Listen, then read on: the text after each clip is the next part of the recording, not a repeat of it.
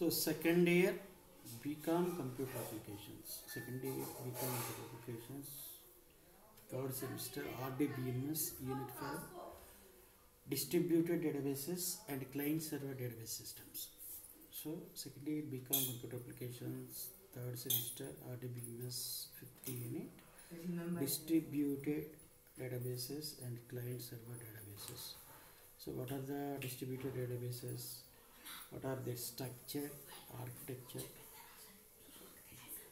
their features and applications, benefits, objectives, uh, what is the client server model, all these things we will discuss here. So the client server model, we start with client server model. So what is uh, client server basics? Client server in more detail, client server summary, standard organizations. and. So what is client server databases or client server networks or client server databases? The first examination of client server, functionality, a brief definition. A server is a program or a collection of cooperative programs that provide services and or manages resources on behalf of other programs. It's client. So a client and in the client server databases uh, or client server environment, a, a server is a, an application program. A program or application program or a software or a collection of software softwares uh, generally that provides services and uh, services to the other uh, services and uh, manages resources on the client on behalf of the program client. So generally in the client server environment, client requests for a service uh, and the server responses to the client uh, request uh, it may be a service or a resource. So this is the diagram of client server environment. In the client server environment, will the, the database is inst, placed at server system, the computer, and all the clients are connected through LAN or WAN to the server. And generally, clients uh, request for something and uh, server responds to the queries asked by the clients through LAN or WAN or network. So uh, because of uh, data or data or information or databases are uh, placed at server means at one place there may, uh, there may be a number of clients may be allowed to connect to a server via LAN or WAN through various applications or end users by end users or applications or softwares or programs. So example, the ATM network. The clients are the ATM machines. User interfaces some simple application processing. The server is a bank. Most application processing very large databases of customer records. So architectural requirements. So what is the architecture of client server databases? means reliable, robust communication between the client and server. Client server cooperation, application processing is usually distributed between a client and the server. Server controls services and data that the client accesses. Server handles conflicts requests. So, in the client server architecture requirements, uh, there are some specific features uh, or characteristics are used.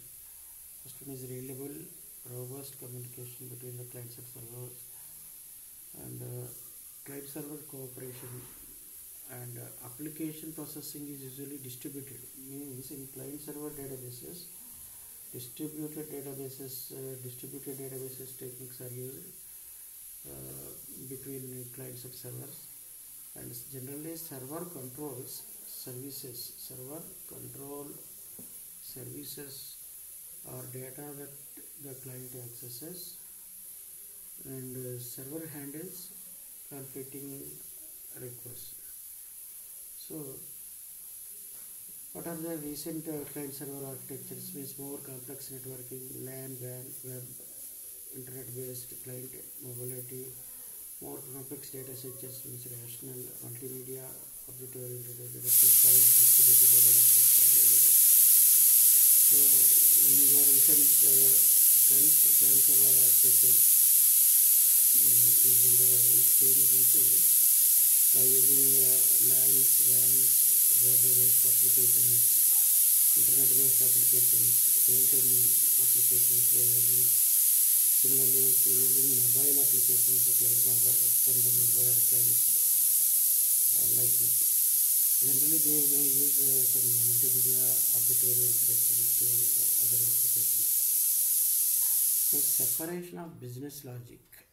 that is program code for manipulating data from the data, three-tier, multi-tier architectures, distributed business logic. So, generally in client-server databases or distributed databases, the business logic means that is the programs or applications or code are separated means maintained separately maintained separately from the data databases means here we use uh, uh, separate servers or separate uh, applications in one server. Databases are maintained in maintained in one server and application programs and business logic. What is business logic? Business logic means application code and application programs and uh, software are maintained it is uh, called as a three-tier architecture. What is a three-tier or a multi-tier? What is a three-tier architecture? Means in a three-tier architecture there are three layers or three servers are maintained. One is for databases database server. Second one is uh, for uh, business logic or code or softwares or uh, programs. Third one is for mm, distributed uh, business logic distributed bus- business logic. So what are client servers uh, environment what is client server environment what is client server databases and how it works in different types of client server databases. So converting a database application component of placement is a two-tier model three-tier model locating the business logic locating the data multi-tier model. So converting a business application database application. So client server environment standalone application. Generally uh, a standalone application means it is maintained in a single computer. Generally it contains uh, four layers of presentation logic business logic and database logic and DBMS and we have database physical databases. So different client server models are obtained by locating different components and the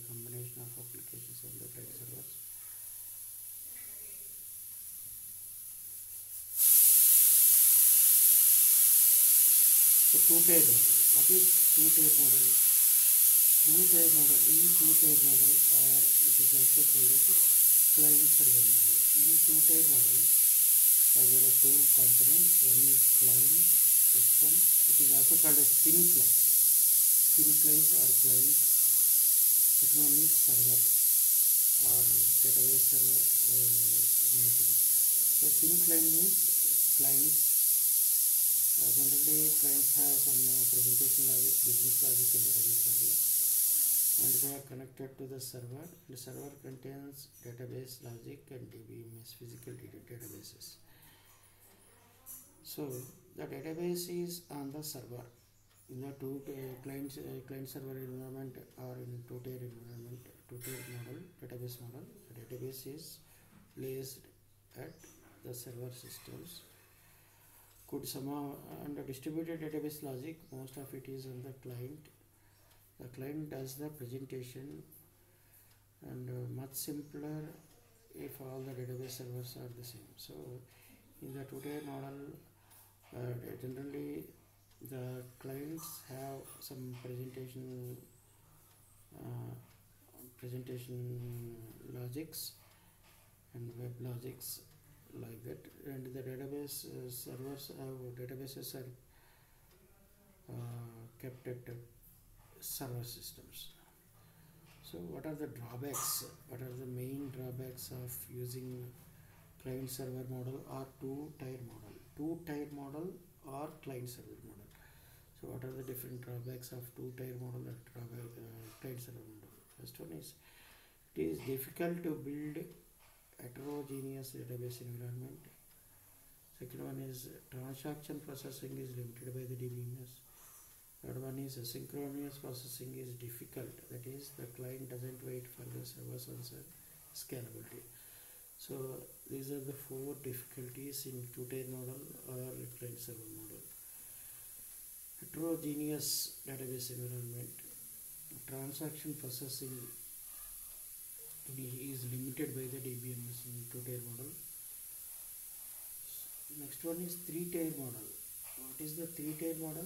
In the three-tier model, we are using three servers or three systems. First one is clients. Second one is application servers. Second one is application servers means the core application software software programs are kept at uh, these servers. Third one is data servers means the data physical databases are placed at data servers. These are also servers, and these three are connected by via some LAN or WAN systems, network models. So the three-tier model uh, here we explain the working of a three-tier model. In the three-tier model, tier one contains uh, some uh, fastest working machines or high-speed systems like we may use uh, mainframe systems, uh, mainframe systems.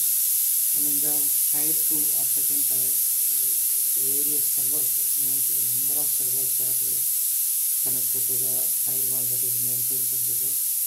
And the tier three, in the three, the uh,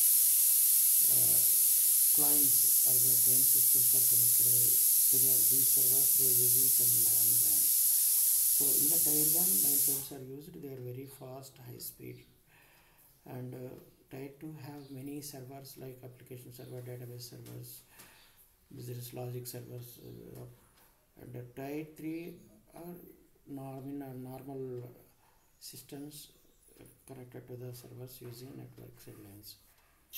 So the mainframe host is usually a very large database or databases, sometimes called as a backend server.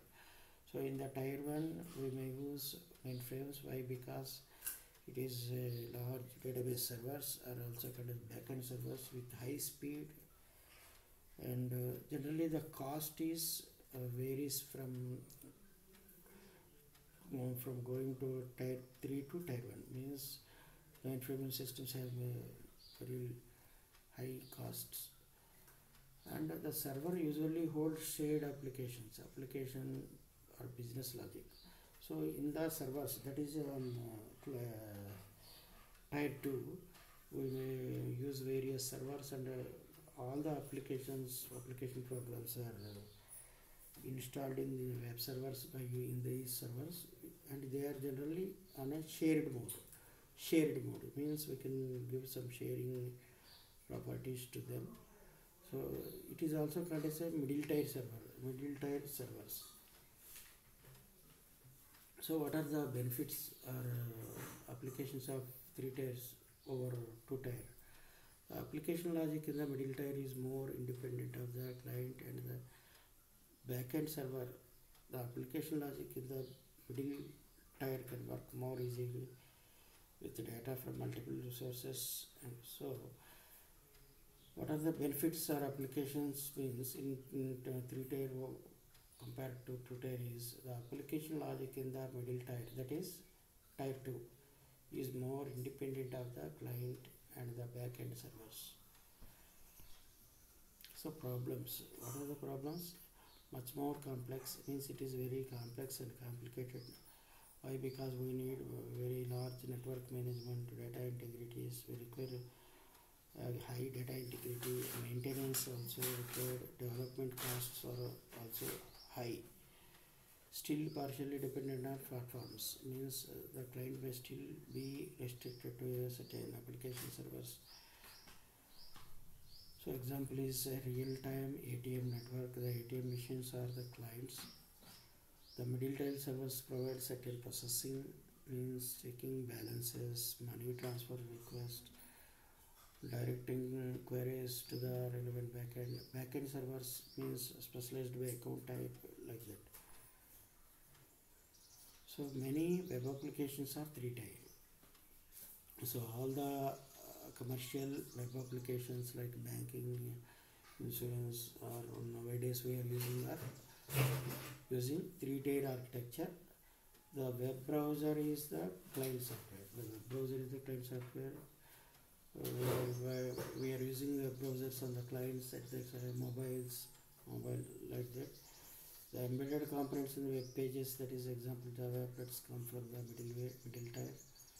The backend server contains the database or group here. So locating the business logic. So this is the client server architecture or two tier or three tier architectures.